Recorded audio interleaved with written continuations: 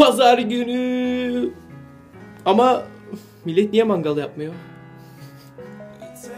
Rüzgar var ya. Evet rüzgar var rüzgar. Ha, patladı.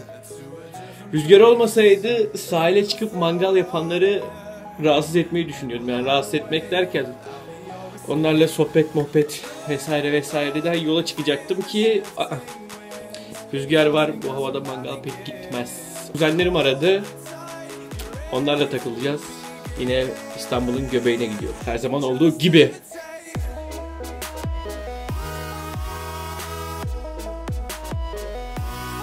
Vodafone'un maraton koşusu vardı. O yüzden tramvayı kapatmışlar Sirkeci'den sonrasını.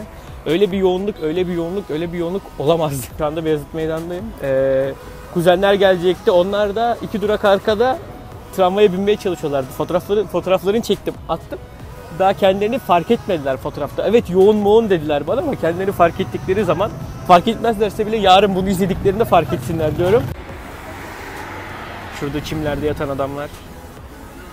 Tam bir piknik yeri edasıyla burada takılıyorlar.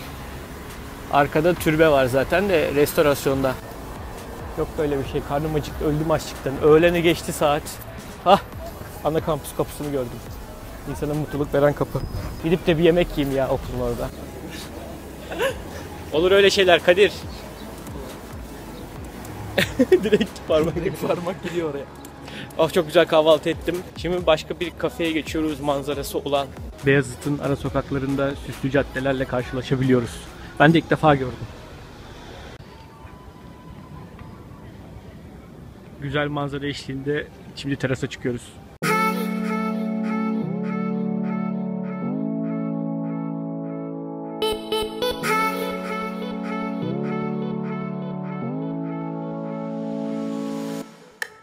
İstanbul'un bu güzel manzarasını sizlere mükemmel derecede yakalamak için çekim yaptığım telefonu çöp ediyor olabilirim ama her şey sizin için.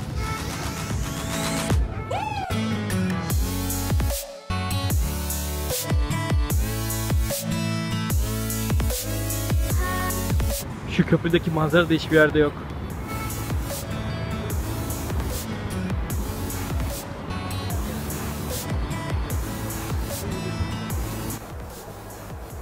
Hop uçak iniyor. Bahçeli Evler'e geldim. Ee, Edebiyat Fakültesinden düşüşünü çektiğim sevgili Gökhan'la buluşacağız ve Gökhan saçlarını kestirmiş. Birazdan sizin için görüntüleyeceğim onu.